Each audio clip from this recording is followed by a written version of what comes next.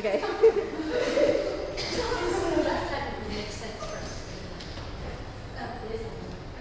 and dance, you guys have fun. Don't forget. Ready? Go, Erin.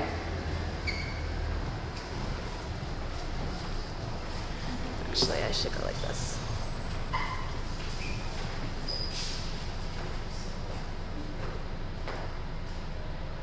Nice.